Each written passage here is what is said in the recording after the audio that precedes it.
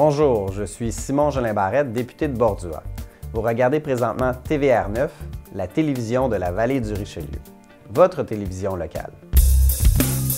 Déjà, euh, des, euh, des projets pilotes qui sont en vigueur, notamment à la ville de Belleuil, dans ma circonscription. Je tiens d'ailleurs à saluer M. Pierre Verret, qui est conseiller municipal, qui a été à l'origine de ce développement-là. Il y a plusieurs villes qui sont intéressées et je pense que l'amendement va permettre aux municipalités, à la grandeur du Québec, si elles le désirent, tout en respectant leur autonomie, euh, de développer une réglementation municipale qui va faire en sorte que les jeunes vont pouvoir jouer de façon extrêmement sécuritaire dans la rue.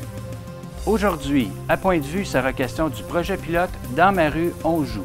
La ville de Belleuil lance une première au Québec avec son initiative Dans ma rue, on joue. Un projet pilote qui vise à inciter petits et grands à jouer librement dans les rues résidentielles, choisies par les citoyens en encadrant cette pratique de façon sécuritaire. La ville de Belleuil a mis en place un processus de validation des demandes via le comité de circulation, incluant une signalisation routière adaptée et un code de conduite pour les participants. Le code stipule qu'il faut respecter la période de jeu libre sécuritaire permise sur les rues entre 7h et 21h. Aujourd'hui, je reçois Pierre Verrette, conseiller municipal et porte-parole du projet Dans ma rue on joue à la ville de Belleuil. En deuxième partie d'émission, je vais poursuivre la discussion avec mon invité Simon Richard, citoyen de Belleuil et initiateur du projet pilote. Mon nom est David Daigle. Bienvenue à Point de vue.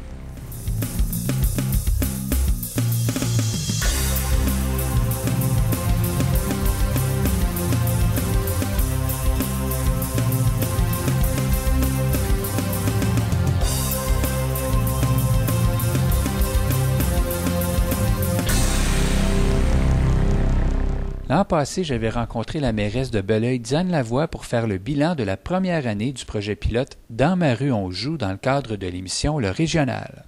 On joue dans ma rue, ça venait d'une, ben, en fait, d'une plainte qu'on avait eue d'un citoyen qui avait été avisé par euh, les, euh, les, agents de l'appel, les policiers, que c'était interdit de jouer dans la rue. Il y avait eu une plainte d'une citoyenne, puis euh, les policiers ont dû s'y rendre et ils ont avisé les gens qu'ils n'avaient pas le droit de jouer dans la rue. S'ils si, n'arrêtaient pas de jouer dans la rue, il auraient été obligés de mettre un constat. La mairesse de Belleuil interpelle les citoyens à poser la candidature de leur rue pour implanter le projet pilote. Parce que ce qu'on souhaitait, c'est que les gens nous proposent les rues. Le but du dossier, de ce projet-là, c'est vraiment une demande des citoyens. Ce n'est pas nous qui imposons les rues. C'est sûr qu'on a une grille de critères suite à des demandes. Quand les gens déposent une demande, on vérifie le site, on vérifie la rue, on évalue, puis à ce moment-là, s'ils passent cette première étape, là, on envoie des lettres à tous les gens impactés par ce, cette, ce, le tronçon de rue qui a été choisi et les gens doivent répondre à plus de 67% positifs. On veut vraiment que ça vienne des gens, puis que les gens embarquent dans ce projet-là. On est rendu en ce moment à 24 rues autorisées. Euh, on a encore, euh, je crois, huit autres qu'on va autoriser là, dans les prochains mois, dans les, en fait au prochain conseil aussi. Ça fonctionne très bien. Euh, on a gagné plusieurs prix euh, au niveau des saines habitudes de vie. On a été nominé aussi à, euh, l'UMQ pour le prix Ovation municipal. La mairesse Diane Lavoie désire évaluer également les retombées de ce projet pilote, notamment en ce qui concerne les zones limitant la vitesse dans les rues résidentielles accréditées pour assurer une meilleure sécurité. Plusieurs demandes ont été au niveau de diminution de, au niveau de la vitesse dans les rues. Alors, probablement qu'on va faire un, retour avec euh, les gens qui ont accepté les 24 rues ou un peu plus, qui vivent déjà de, ce projet-là, les rencontrer pour euh, évaluer euh, tout ce qui pourrait être ajouté dans ce projet-là pour l'optimiser. mais à date, on n'a que du positif. Il n'y a eu aucun incident. Monsieur Pierre Verret, bienvenue à Point de vue. Bonjour, merci beaucoup de l'invitation. Vous êtes conseiller municipal depuis plusieurs années à la ville de Belleuil. Oui, en effet, depuis 2005. Euh, C'est mon quatrième mandat. Et puis, euh, je m'implique euh, au niveau de la ville pour pouvoir aider nos citoyens dans le développement de notre ville. Vous êtes également sur plusieurs comités là, dans la ville. Oui, bien, entre autres, comité de la politique familiale, euh, au niveau euh, des aînés, au niveau des enfants.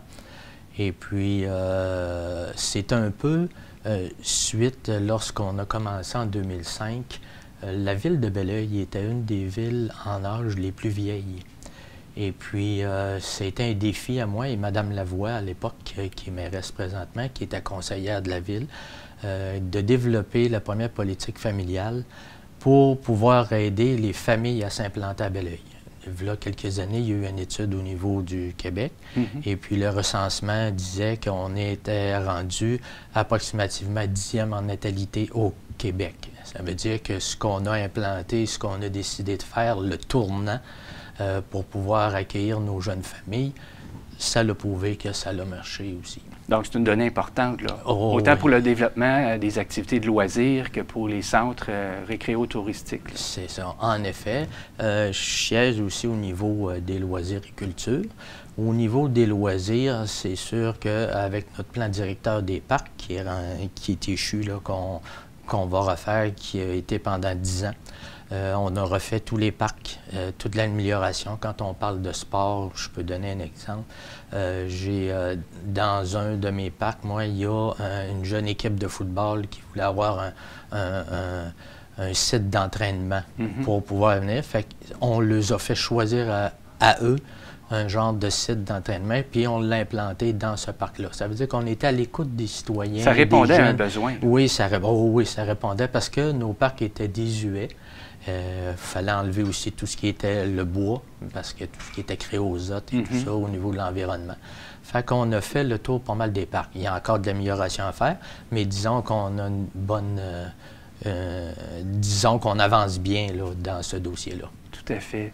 Et là, depuis deux ans, il y a le, projet pilote qui a vu le jour dans ma rue, on joue. Oui, c'est ça. C'est.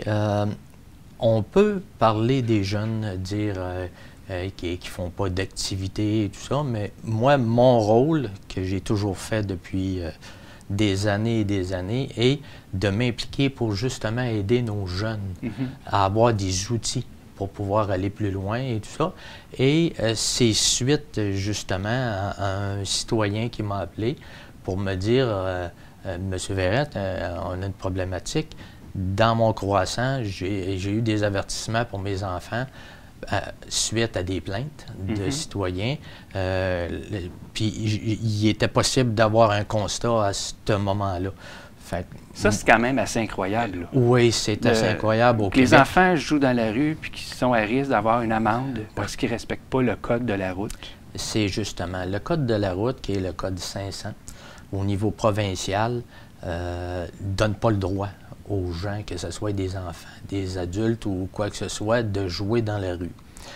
Euh, suite à ça, la seule façon de faire, c'était euh, de changer la réglementation municipale pour pouvoir comme écraser cette loi-là. Mm-hmm. C'est la loi municipale qui prime.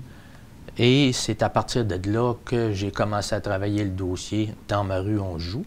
Euh, je ne vous cacherai pas que j'ai eu une équipe formidable, qui est l'ancien directeur ici des travaux publics, M. Sylvain Gagnon, euh, Caroline Newingman, qui est la directrice des mhm. communications, et Julie Pelletier au loisir. Euh, c'est vraiment une équipe formidable qu'on a réussi à développer. Et l'idée venait aussi du fait que lorsque j'ai eu le téléphone de M. Richard, euh, j'ai eu une entrevue euh, où euh, je suis allé voir Maître McCallian faire une présentation à Ville et Village en santé. Mm-hmm. Et son sujet était justement le jeu dans la rue. Et il disait qu'il n'y avait rien au Québec qui encadrait ça.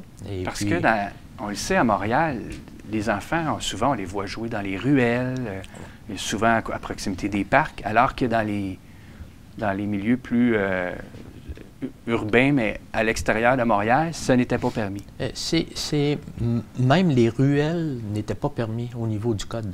D'accord. Ça veut dire, parce que même la réglementation des villes ne permet pas de jouer dans la rue. Fait que c'était ça mon rôle de, m'impliquer et de dire, ben là, qu'est-ce que je peux faire pour changer ça? Euh, j'ai vraiment eu l'appui aussi euh, de la coalition Poids la coalition Poids euh, a vraiment travaillé de concert avec moi pour pouvoir développer ça.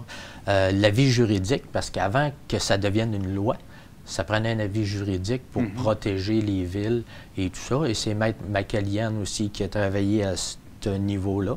Et euh, sans oublier, j'ai mon conseil de ville ici avec la mairesse, Mme Lavoie, qui m'ont appuyé dans toute ma démarche. Mais c'est vraiment un travail d'équipe. là. Là, le projet, ça fait deux ans que ça existe. Oui.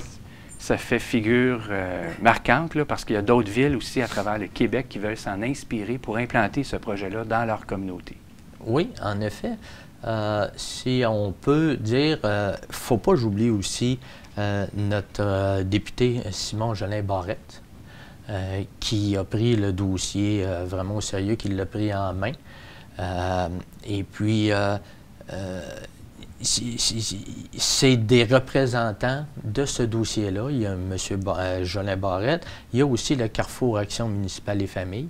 Ce qu'il faut comprendre là, pour le Oui. bénéfice de nos téléspectateurs, c'est que ce- M. Simon-Jean Barrette a déposé un projet de loi à l'Assemblée nationale pour ch- faire changer la loi. là. Oui, en Carrément. effet, en effet. Pour, euh, il a déposé le projet qui était le projet 696 et qui est devenu une loi. Ce n'est plus un projet, c'est rendu une loi Mhm. qui est la- dans la loi 122 qui fait partie à l'unanimité euh, de tous les partis politiques confondus à l'Assemblée nationale. Tout à fait. Ça, a- ça a été présenté euh, par M. Simon euh, Jolin Barret.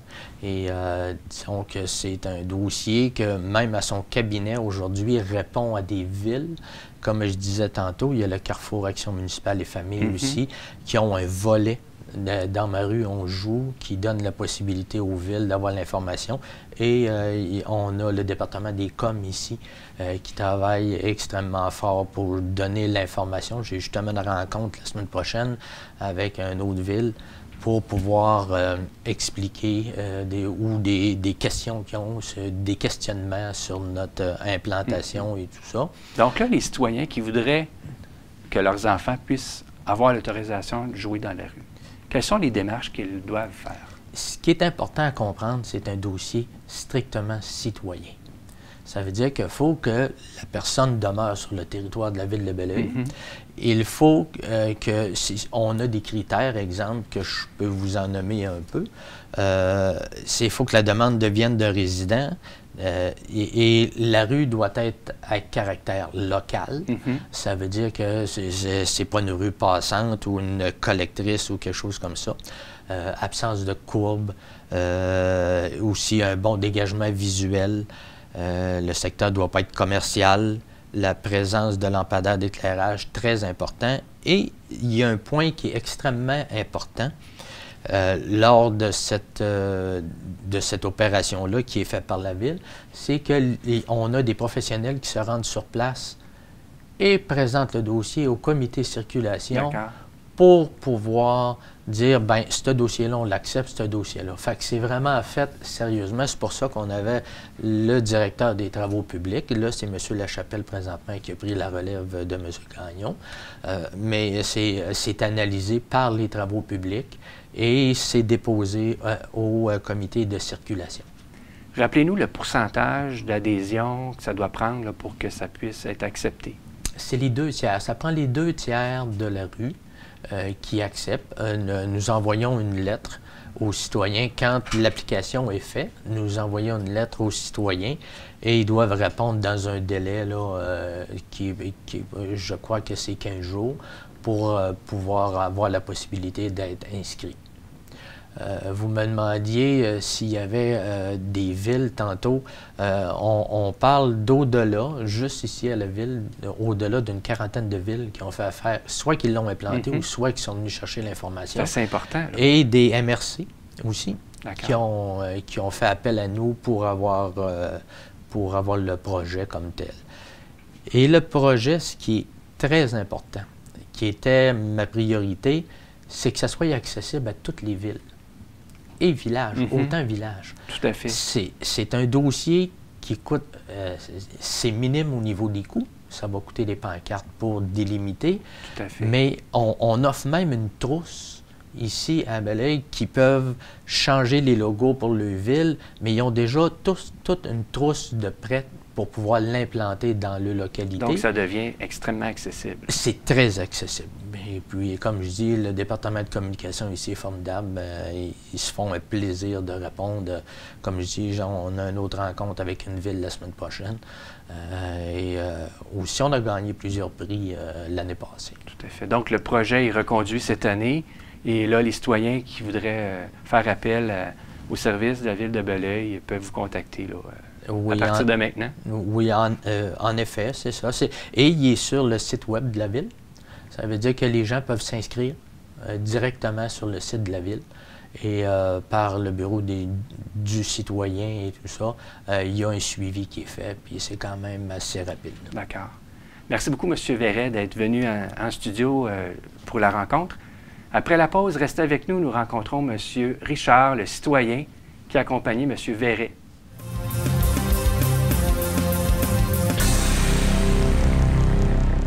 En discutant entre voisins, on a entendu que certaines familles avaient eu des avertissements comme quoi il n'y avait pas le droit de jouer. Là. c'était un peu ça euh, qui, avait, qui m'avait amené au questionnement à envoyer un courriel euh, à mon conseiller municipal pour savoir qu'est-ce qu'il en était de la réglementation.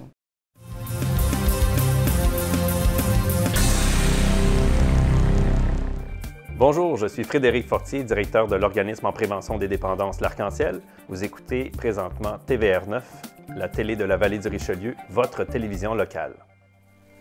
Bienvenue à la quatrième saison de l'émission Bébé Boom, une émission de service à l'intention des parents et des grands-parents pour le bien-être de leurs enfants et de leurs petits-enfants. Nos invités sont de haute compétence et nous les recevrons avec grand plaisir. Soyez avec nous. Bonjour, ici Marie-Ève Gaudreau. Chaque semaine, soyez à l'écoute de Rencontres, une émission où je reçois des artistes et des personnalités importantes de la région. Dans ce 30 minutes, vous serez plongé au cœur des confidences, de rire et de pur bonheur. C'est donc un rendez-vous chaque semaine sur les ondes de TVR9, la télévision de la vallée du Richelieu. Bonjour, ici France Bergeron, animatrice de l'émission Parole d'auteur diffusée sur TVR9. Accompagnez-moi dans ces belles rencontres hebdomadaires où nous découvrirons des auteurs, poètes, romanciers, conteurs, paroliers, enfin, des personnes passionnées par l'écriture et qui vivent dans notre région.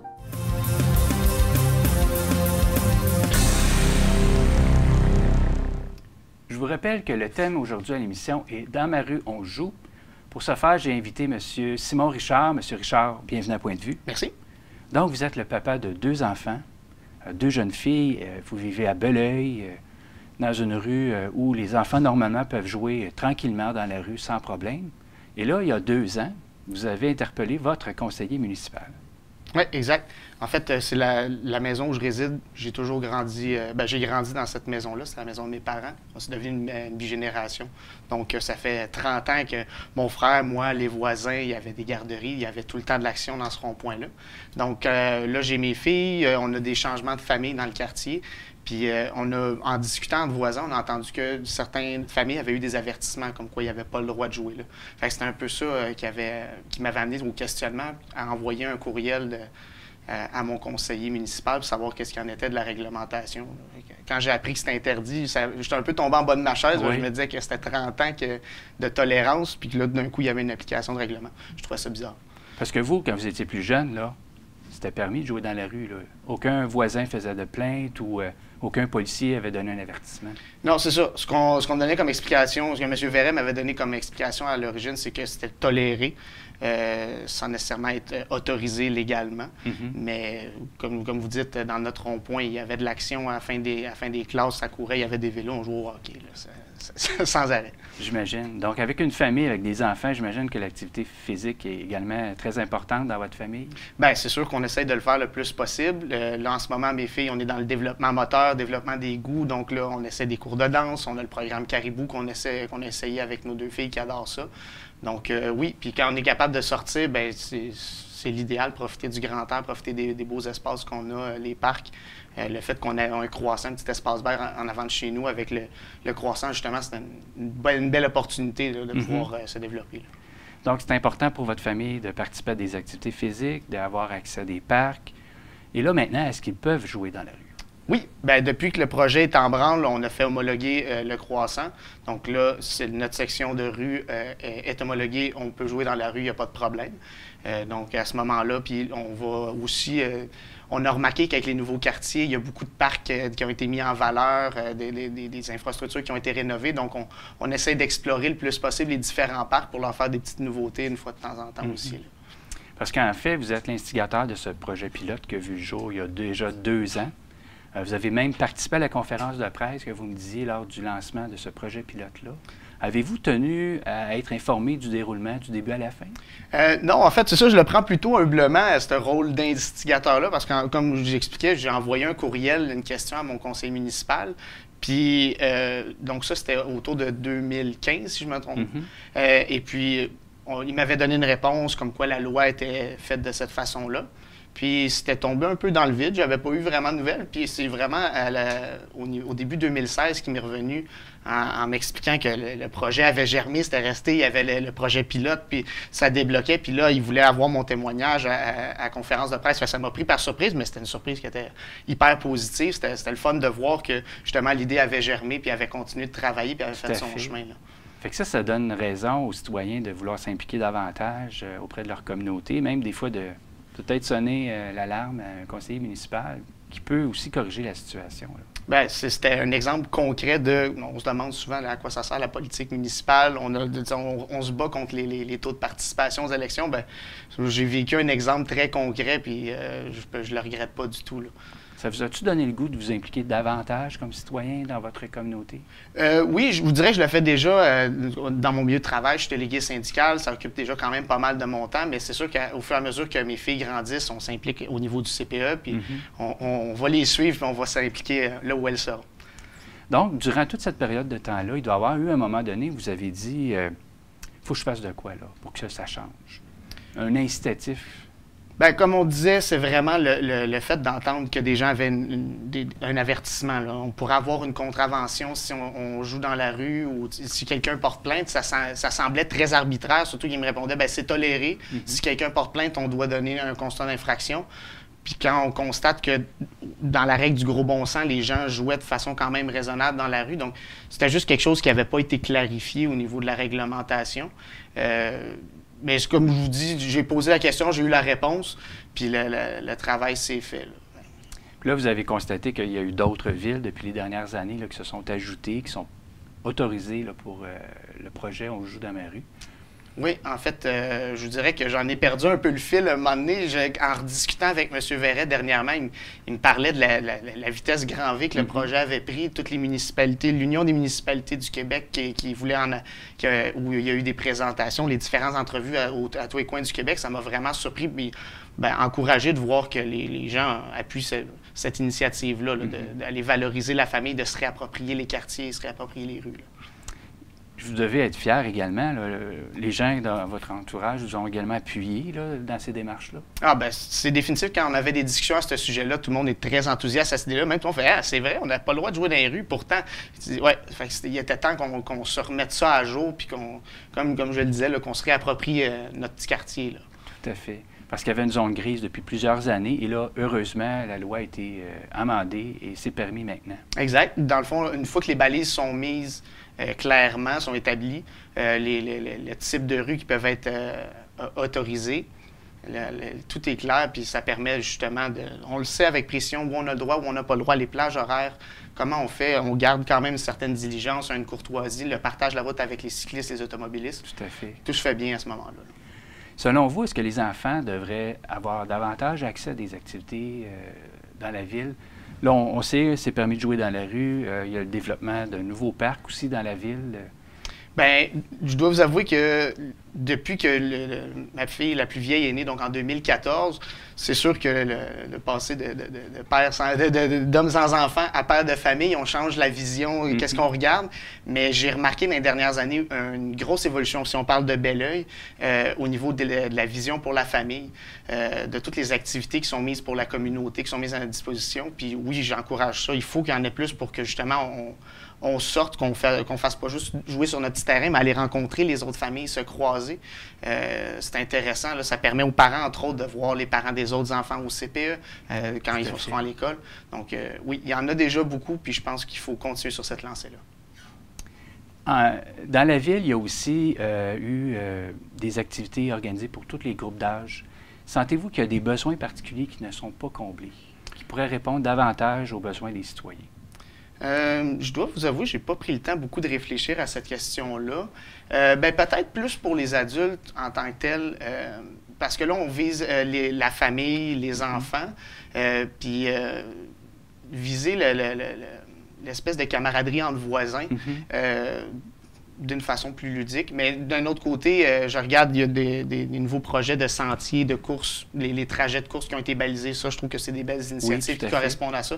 Donc, euh, puis les lundis, je vais à l'école primaire en arrière de chez nous, je vais jouer au hockey COSOM avec euh, le groupe rétroactif. Donc, ça, c'est des trucs qu'il faut mettre en valeur, je pense, pour que les adultes aussi se sentent invités, pas juste comme parents, mais mm-hmm. comme adultes à part entière dans leur municipalité.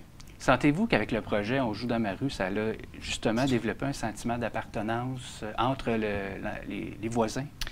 Je pense que le projet est trop jeune, mais le potentiel est là pour le faire. Oui. On parlait de fête de quartier, puis justement, j'en discutais avec M. Verrette. Je, lançais la suggestion de dire ben ça pourrait être intéressant, une nouvelle rue qui est homologuée, ben on envoie une caravane, on fait une fête, on ferme la rue, puis on fait une belle fête de quartier. pour J'avais entendu parler de, marquage euh, mm-hmm. sur les, au sol. Donc, ça, c'est des trucs qui sont très intéressants, qu'on peut. Euh, c'est du potentiel pour faire des, des, projets pour que justement on valorise le projet, on se l'approprie. Tout à fait. Et toutes ces activités-là se font dans un contexte sécuritaire, bien sûr. Et voilà. Bien, dans le fond, on revient aux balises à l'origine. La sécurité est à la, pas mal à la base du projet. Et à partir de là, on est sur des bonnes bases. Merci beaucoup, M. Richard, d'avoir participé à l'émission. Ça fait plaisir. Merci.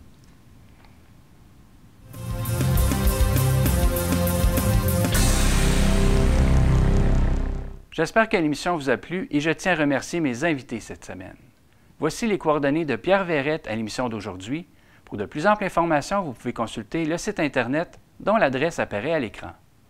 D'ici la prochaine émission, je vous invite aussi à nous suivre sur la page Facebook de TVR9. Vous avez vécu une situation particulière qui mérite notre intérêt.